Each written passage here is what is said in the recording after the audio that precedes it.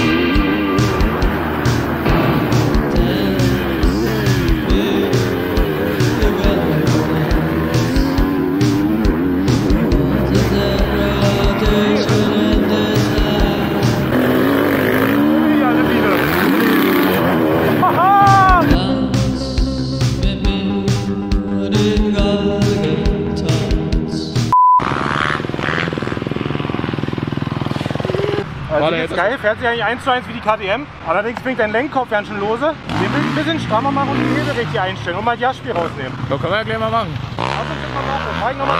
Aber 250 ist raus. Zu wenig? 250, äh, next. 250 ist next. Das ist zu wenig Dampf. Gerade, ich komme aus dem Kurven gerade raus. Aber 250er ist raus. Leider haben sie ein kleines Problem mit der 63-Grad-Kamera. Und zwar habe ich aus Versehen im Zeitraffer-Modus aufgenommen. Das sah ungefähr so aus. Denn ich bin dumm, dumm. Daher gibt es leider keine Aufnahme mit der 450er. Allerdings muss ich sagen, hat mir sehr gut gefallen. Auf jeden Fall viel, viel besser als die 250er. Also wieder zurück zum Video.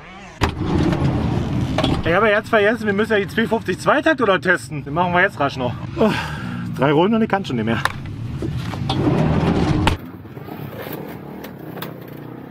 Ach du Scheiße, ich habe kein Motorrad mehr antreten.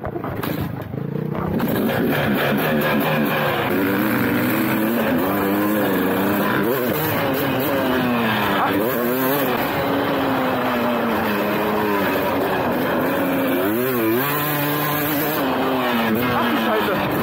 Ohne Motorbremse ja ja nicht. Digga, das weiter geht gar nicht. Nee, auf gar keinen Fall, Digga. Können wir gleich rausfahren wieder.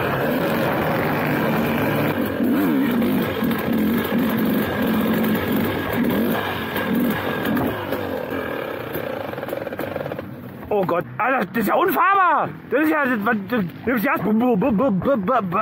du kriegst ja keinen gleich mit, das ist ja nicht wie ein Einspritzer halt, ne? Alter, ist das unfahrbar. Mann, ich, war- ich wollte mir schon mal so ein Ding kaufen. Nie im Leben! Nie im Leben! Und, und dann die, ohne Motorbremse, über die Sprünge rüber. Schön Dead Sailor gemacht, Alter. Kannst du haben, will, will ich nicht haben. Nimm mal geschenkt. Hier, bitte.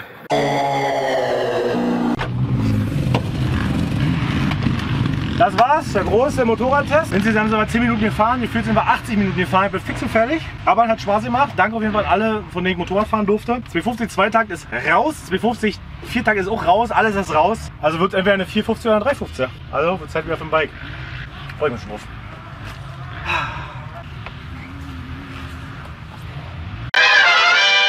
Plan steht, 250 ist sowas von raus. Dafür sind wir einfach zu fett mit meinen momentan 117 Kilo. Das heißt also entweder 350 oder 450. Aber halt, da war ja noch was. Wir müssen die CBR noch rasch verkaufen.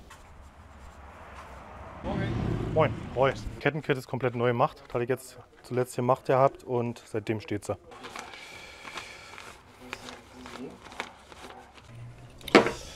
So, CBR ist verkauft. Wir haben Money gekriegt. Können wir jetzt los Motorrad gucken fahren. Geil. Hat gut geklappt. Ist alles heute passiert, Tatsache. Wir haben vorab natürlich schon ein bisschen bei Kleinanzeigen geschnückert und werden jetzt die billigste KTM im ganzen Netz in Deutschland kaufen. Kommt mit.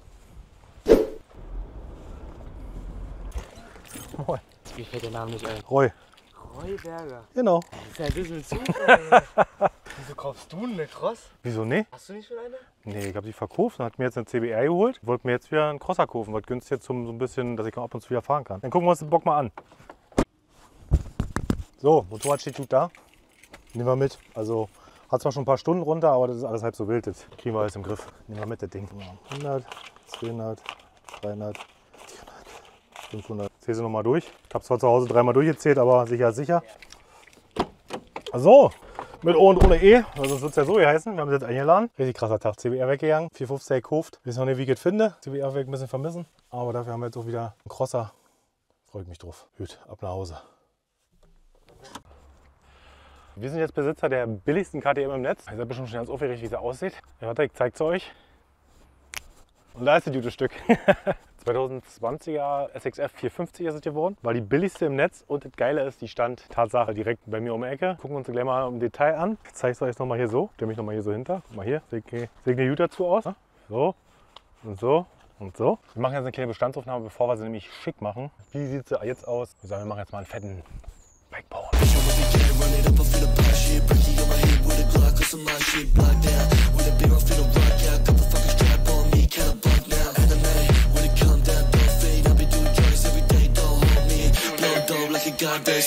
So, Bikeporn Ende. Wir gucken uns jetzt die ganze Gerätschaft an. Die ist von 2020. War mir relativ wichtig, weil die hat nämlich schon einen schwarzen Rahmen. Das heißt, wir sparen uns schon mal das Pulvern, weil die hat ja schon eine geile Designidee. Genau, wir haben jetzt hier Titanfußrasten verbaut. Bin ich jetzt eigentlich nicht so ein Fan von, muss ich sagen. Werden wir mal sehen, wie die sich fahren. Eventuell kommen da wieder die originalen Fußrasten ran. Sitzbankbezug. Scheint erstmal griffig zu sein, aber die orangen Streifen müssen weg. Der Lenker ist mega krumm. Wir haben jetzt äh, 174 Stunden. Vor 50 Stunden wurde ungefähr der Kolben gemacht. Also rein theoretisch laut Wartungsbuch wäre er jetzt theoretisch dran. Mal gucken, ob wir den dann direkt machen. Eigentlich sagt man so im Volksmund bei einer 450er, den kannst du 100 Stunden fahren, ohne dass du dann Kopf machen brauchst. Der, der Vorbesitzer ist damit jetzt auch bloß, seitdem er sie hatte, nur Wald- und Wiese gefahren. Zweitens glaube ich nicht, dass sie jetzt vorab so bewegt worden ist, dass man da jetzt wirklich äh, Oh Gott, mir ist gerade was aufgefallen. Thema Bestandsaufnahme. Sieht man auf der Kamera, wie schief das Rad steht? Und hier sind wir schon beim letzten Strich. Und hier sind wir ganz woanders. Also das müssen wir uns nochmal ganz genau angucken. Der Gerät kriegen wir aber schon hin, denke ich. Aber sonst springt sie super an. Tippitoppi. Kettenkit muss auf jeden Fall gemacht werden. Reifen sind auch eigentlich runter. Genau. Aber das heißt also, Roy hat wieder eine 450er und es wird auch wieder ein bisschen Motocross-Content kommen. Mit Kumpel Dennis hatte ich ja die Folge von ihm in äh, Dannberg gedreht. Ich habe auch wieder neue Motivation gefunden. Danke auf jeden Fall an Dennis und auch an Enduro Gott Timmy. Mit dem werde ich dann so ein bisschen unterwegs sein. Damit er nicht nur meine hässliche Hackfresse seht, sondern hauptsächlich deren Hackfressen. Aber in der Werkstatt, Ding auseinanderbauen und gucken, was wir noch so finden. Ich hoffe, ich hoffe, das war dann jetzt erstmal.